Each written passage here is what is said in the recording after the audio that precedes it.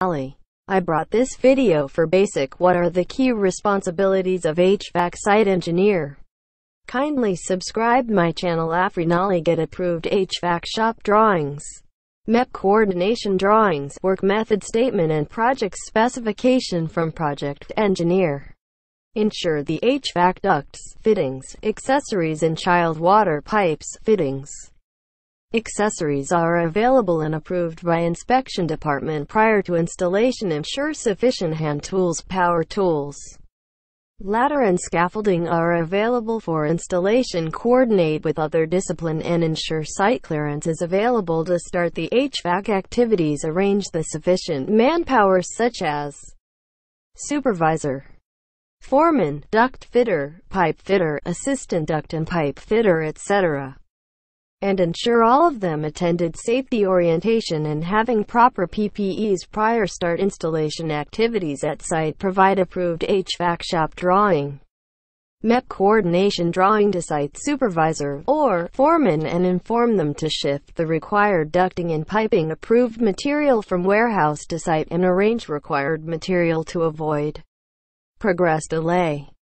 Prior to start HVAC activities notify to QC personnel for surveillance to ensure the quality work to maintain safe all construction HVAC and chilled water piping activities are carried out in accordance with the company's safety policies and procedures.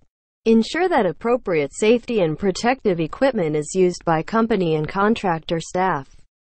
Closely monitor site activities to ensure quality of work is in compliance with approved shop drawing and specification and get daily progress report from site supervisor or foreman and update to project engineer or manager preparing relevant documents to conduct inspection for completed installation activities and raise RFI to QC inspector to ensure that any activity offered for inspection has an attachment of IFC drawing, method statement, if required, inspection and test plan, ITP, followed by checklist, carry out all planned site inspections as per the intervention points marked in the relevant drawing and standard preparing the relevant documents. To conduct testing inspections such as duct light testing for ducts and hydro test for above ground and underground chilled water pipings. Systems active involvement in weekly meetings with the project management and QC supervisor and manager to resolve the site-related issues.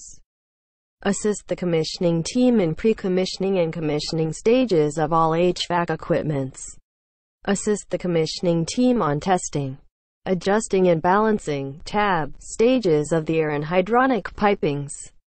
Assist the project engineer during preparation of final test reports, as built drawings operation and maintenance manual and handing over the project to client.